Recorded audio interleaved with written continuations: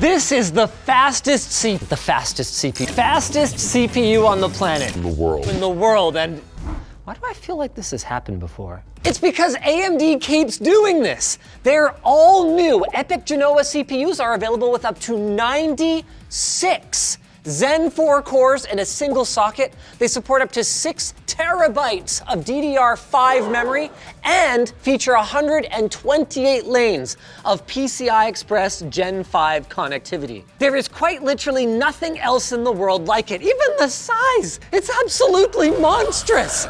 And this video is sponsored by Supermicro, who provided not one, but two servers rocking a total of three of these CPUs. Does the math even work out to on that? that that's like almost 300 cores. We gotta break some world records today, ladies and gentlemen.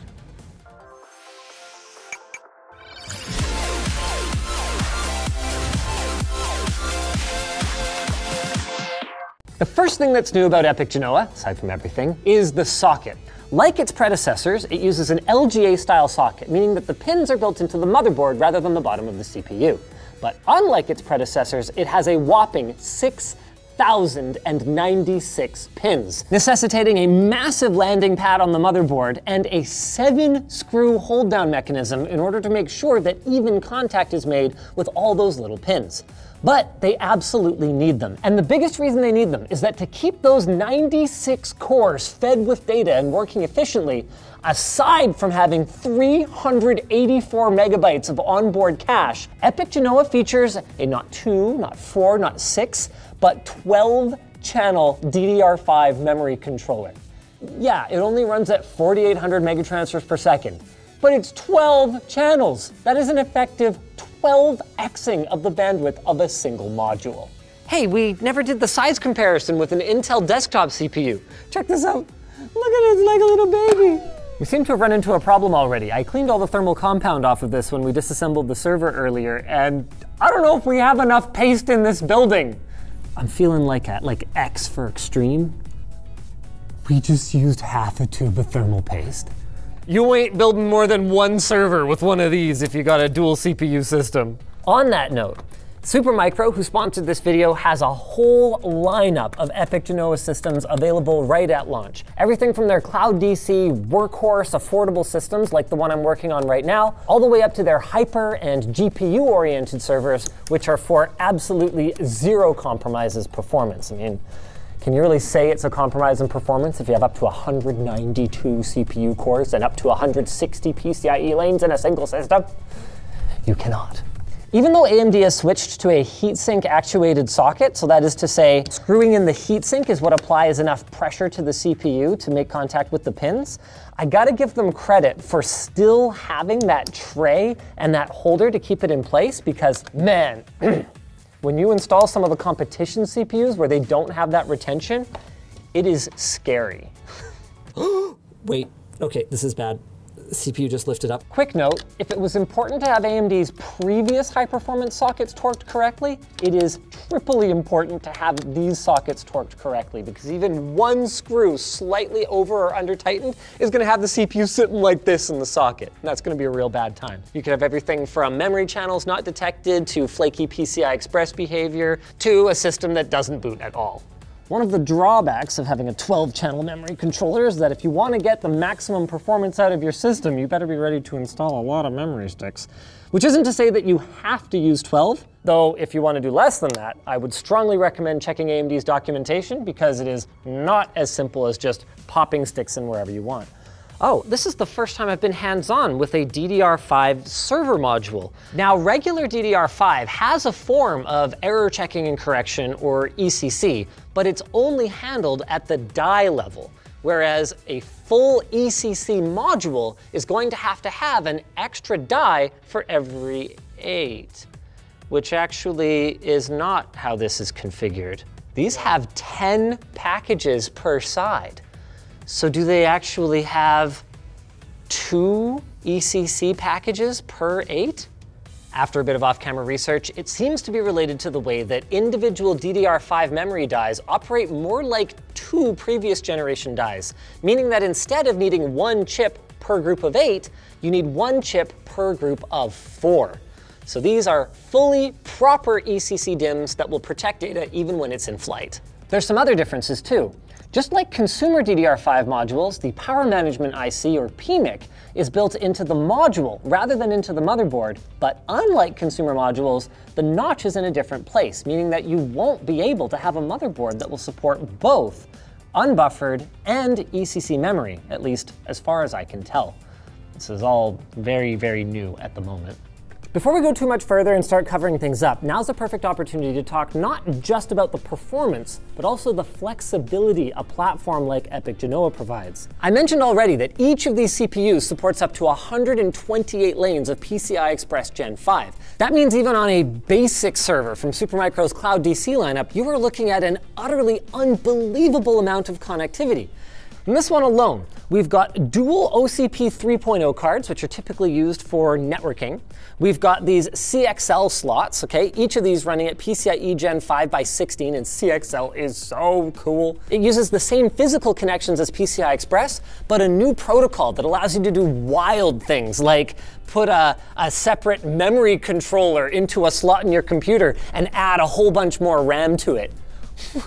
like what? And even if you fill all of this stuff up, in a server like this one that's using three and a half inch bays, you are going to run out of slots before you're going to run out of PCIe lanes as you cram the front of it full of SSDs.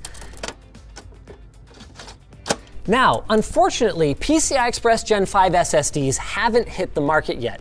But when they do, things are going to get really cool. Because instead of needing four lanes to get the most out of these SSDs, in non performance critical applications, like say it's more about capacity, you're going to be able to take just two Gen 5 lanes and get the same performance you would have gotten from four Gen 4 lanes just one generation ago. And what was really mind blowing for me, thinking about how fast PCI Express Gen 5 is, a single PCIe Gen 5 lane is the same speed as a 16x slot of PCIe Gen 1. The size doesn't matter that much. Yvonne, you're watching this, right? Look, they can't even put full-size slots on the board. They just got these 8X, are those 8X? I think they're 8X. And this has applications outside of just storage as well. Say, for example, we were gonna take this PCIe Gen 5 by 16 slot right here and plug a you know, daughter board or mezzanine card into it. We could plug in literally four PCIe Gen 4 by 8 cards and have all of them run at full freaking speed. That's wild. Well, you need a pretty complex PCIe switch to go back to Gen 4 and have that full bandwidth. But, but that's not the point. The point is that outside of storage and networking, almost nothing needs Gen 5 bandwidth anyway, and you can see Supermicro knows that. So this is just a simple daughter board that is absolutely covered in Gen 5 lanes. We go from 16 to 16 to 80 lanes, and they figure this will probably be fine, and they're probably right. Not that we're doing anything like that with it. We're just using one of these slots for an RJ45 network card because we don't have the PC build corner wired up with uh, QSFP, which is uh, what the network card that Supermicro sent over with this thing uses. okay, there's one more thing about this socket that I didn't tell you guys yet. Unlike AMD's previous server socket, SP5 is rated for up to 400 watts, which is like, what? I thought Zen 4 was more efficient. Well, yeah, it is. But we went from up to 64 cores to up to 96 cores. Some concessions had to be made, and that's why, can I remind you again, this is a Cloud DC, like workhorse class server. Supermicro is shipping 1200 watt redundant power supplies in a server that's not even designed for GPU use. Spicy, look how long this thing is. Not that it's about length. Yvonne, you're watching this, right? It's not about length but is it longer than a 4090? Oh, 4090 for scale. Okay, let's fire this thing up. We have a liftoff! Now for best possible cooling, we're gonna wanna put the top cover on this, because otherwise these fans, instead of drawing air across these NVMe drives and blowing it through the CPU heatsink, they're just drawing air from here and blowing it out here. Also, that's really annoying. That's a little better. Three hours later. No, but in all seriousness, at the moment, EPYC Genoa takes about 10 minutes to boot up. Uh, but AMD says they are working on that. So, good. Gotta get that memory training going. Hey, hey! We had time to go get monitors, plug them all in, get all the network. And we're only halfway there. Oh, good. Since we're still waiting, we might as well take this opportunity to talk about one of Supermicro's hyper servers. The main difference between Cloud DC and hyper platform servers is that instead of one CPU with up to 96 cores, you've got up to two CPUs with up to 96 cores. That's right, 192 cores. That's 384 threads and up to 12 terabytes of DDR5 memory. You've also got, okay, you lose some of the PCIe lanes in CPU to CPU connectivity, so 160 lanes of PCIe Gen 5, and that means that whether you want to connect 10 flipping GPUs to one of these things, or many, many additional nodes of storage devices, they have got the horses. One cool thing is that if you're more into compute than expansion, you can configure the CPUs to allocate more of their PCIe lanes to socket-to-socket communication, leaving you only 128 lanes, but more bandwidth between your sockets. Neat, huh? We're gonna try and put this in here. Um, hmm. Hey, did it finally boot? Yeah, we're in Windows now. That was literally over 15 minutes. We need something to put that GPU on because it's sitting a little funky. What could go wrong? Ha! Perfect. Holy crap. This is one CPU! 96 cores. I mean, they're only at 1.85 gigahertz right now, but they'll get faster. What we're expecting is somewhere in the range of around 2.4 gigahertz when all cores are under load, which means you actually kind of need to think carefully about your application when picking an EPYC Genoa processor. If you want higher clock speeds, you may not necessarily be better off with the, the higher tier, higher core chip. One cool thing, by the way, about Supermicro's Hyper lineup that we're not showing off very well is that compared to Cloud DC, they're totally toolless.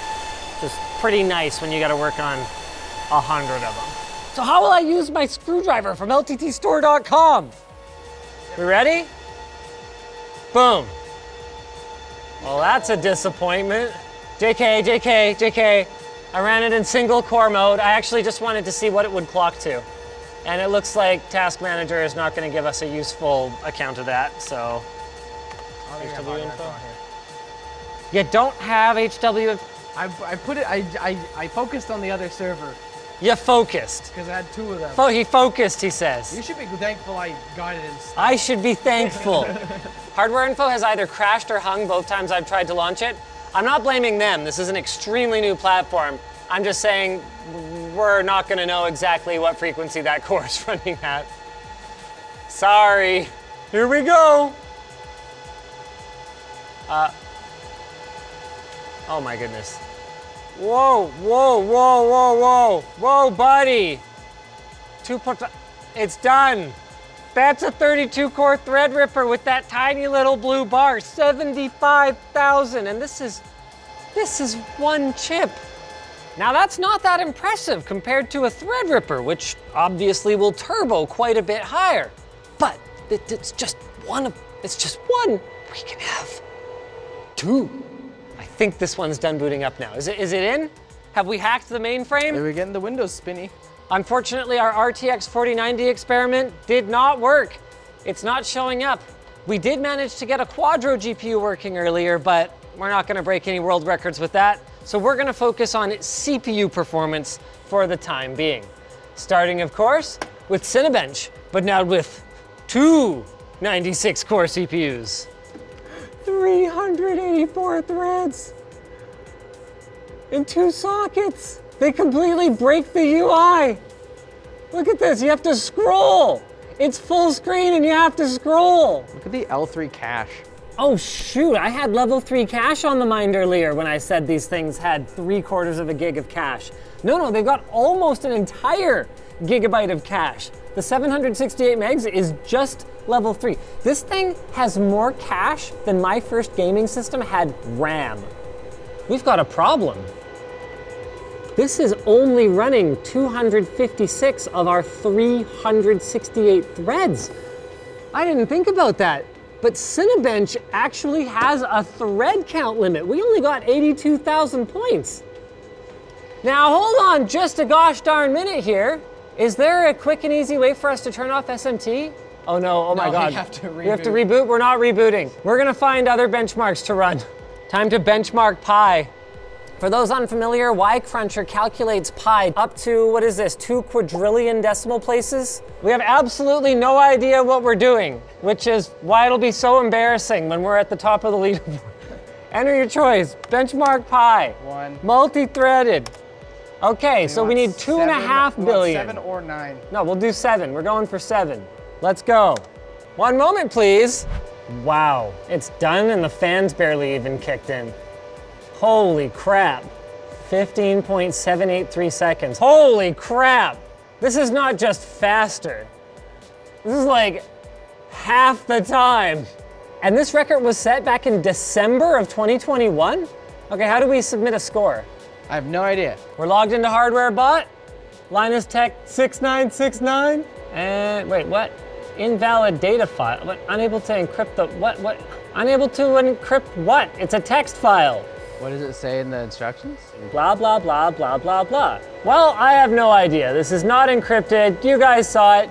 It's fast. This video is wrong, past Linus. We moved the server over to the server room and we are remoted into it right now using Supermicro's integrated IPMI KVM. And all we gotta do is click right here and ready, ready, wait for it. Bloody hell, where is it? Ah, there it is. Go Team Canada.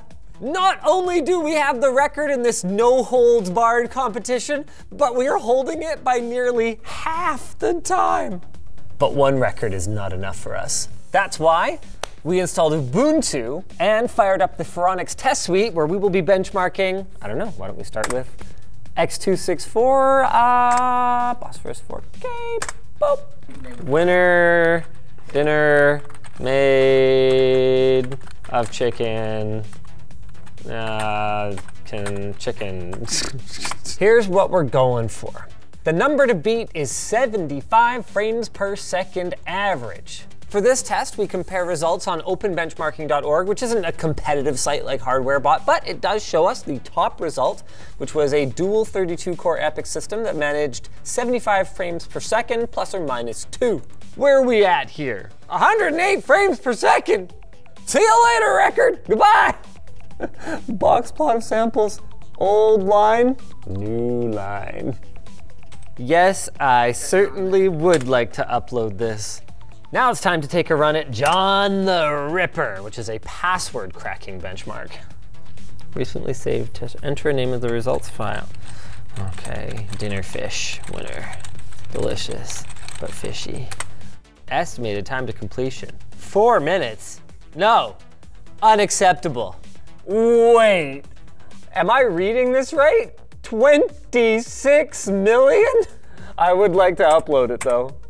See you later, records. Previous winner, fish dinner. Time to run Blender. Let's go classroom. Let's see if we can cause some trouble on their site. Here we go. Estimated time to completion, two minutes. I doubt it.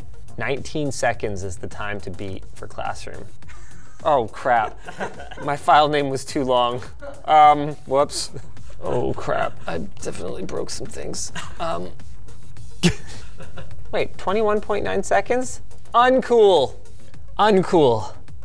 It's not that this system isn't ripping fast, it's just that clearly someone with another dual 96 core test system got here first. Well, it's been a long day.